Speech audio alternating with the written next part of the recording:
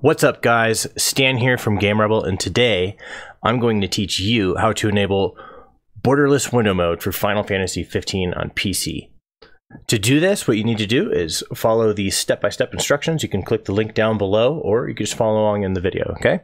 So uh, if you click the link down below, you'll come to this web page here and the step-by-step -step instructions are right here, okay? Step one, on your PC, go to Documents, My Games, Final Fantasy 15, Steam, there's going to be a random number sequence.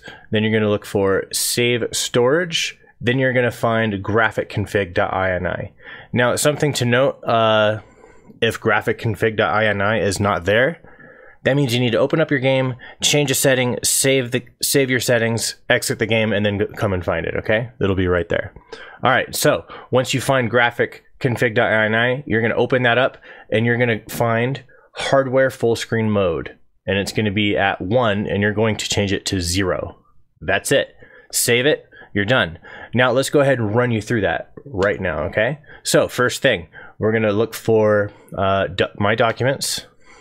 Then we're gonna go and find my games, okay? My games, here it is.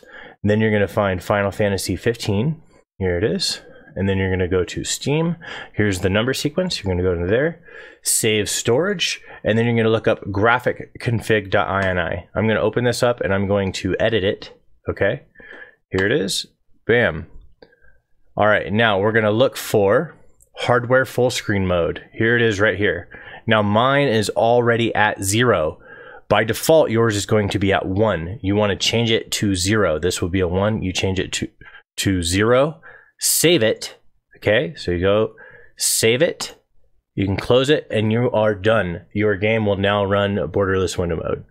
Have fun.